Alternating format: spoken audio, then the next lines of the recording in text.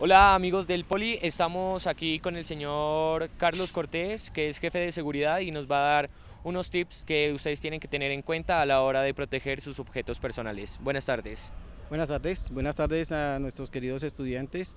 Eh, sí, la idea es poderles informar de algunos eh, puntos a tener en cuenta en seguridad como estudiantes para que no nos lleguen a pasar eh, cosas infortunadas como pérdidas o hurtos. Uno de ellos es cuando dejan cargando sus equipos electrónicos en la biblioteca. Cuando están con celular o el iPhone o la tablet descuidada y en un momento dado no se dan cuenta cuando se los han quitado. Otras recomendaciones son no parquear fuera de los, de los parqueaderos autorizados. En este semestre ya tenemos la pérdida o el hurto de dos vehículos que dejan sobre la vía.